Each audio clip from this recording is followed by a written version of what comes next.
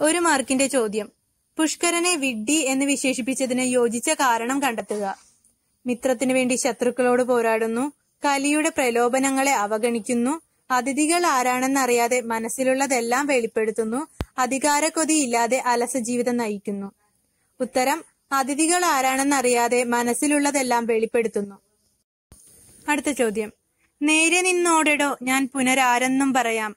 പാരിൽ എന്നെ ഇന്നാരറിയാതവർ ഈ വാക്കുകളിലൂടെ കലി സ്ഥാപിക്കുന്നത് എന്ത് ലോകത്തിൽ ആർക്കും എന്നെ അറിയില്ല.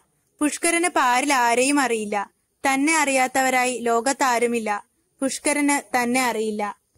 ഉത്തരം തന്നെ അറിയാത്തവരായി ലോകത്താരുമില്ല. അടുത്ത ചോദ്യം. തന്റെ ജീവിതം ഒരു പേക്കിനാവായി തീർന്നു. ദസ്തേവസ്കി ഇങ്ങനെ ചിന്തിക്കുന്നതിന് കാരണം. ജീവിതം സ്വപ്നങ്ങൾ നിറഞ്ഞതാണ്. ജീവിതത്തിൽ അഭിമുഖീകരിച്ച പ്രശ്നങ്ങൾ ഏറെയായിരുന്നു. സന്തോഷവും സന്താപവും നിറഞ്ഞതായിരുന്നു ജീവിതം. നോവൽ എഴുതി പൂർത്തിയാക്കാൻ കഴിയാതിരുന്നതുകൊണ്ട്. ഉത്തരം ജീവിതത്തിൽ അഭിമുഖീകരിച്ച പ്രശ്നങ്ങൾ ഏറെയായിരുന്നു.